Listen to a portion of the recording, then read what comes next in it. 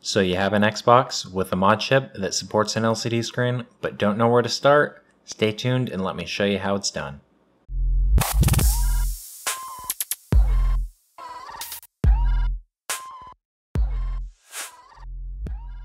To start, you will need your soldering supplies. Again, I recommend a set of helping hands, wire cutters, and thin gauge wire. I'm using 30 AWG. You will also need your Xbox teardown tools, Torx 10, 15, 20, and a flathead screwdriver. You're going to want to decide where you will be mounting your LCD. For me, I'm going to be putting it on the front left side. It's pretty common to see it on the right, so I'm going to do something a little different I actually won't be showing you how to mount the LCD in the case as it will be different for everyone depending on location and individual mods. With a little creativity, a rotary tool, and some epoxy, it shouldn't be too tough to figure out.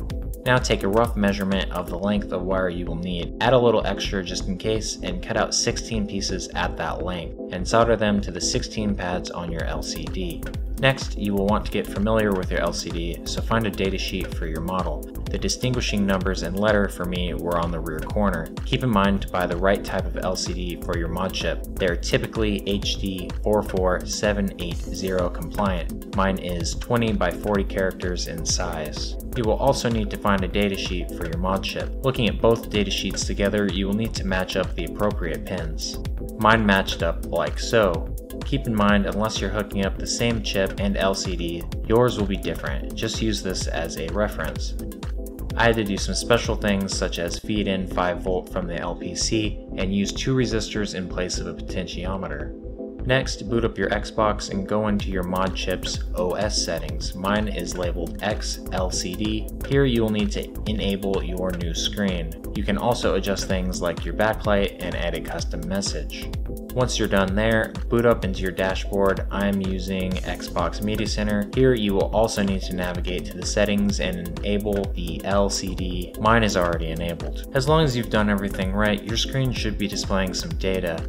As I've said before, I have very big plans for this Xbox, so be sure to keep an eye out for the video build logs. It's going to be one awesome Xbox.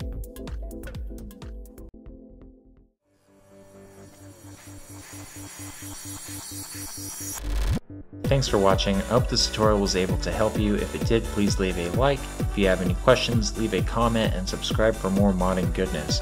You can follow me on Twitter at TechnoOnTop for channel updates.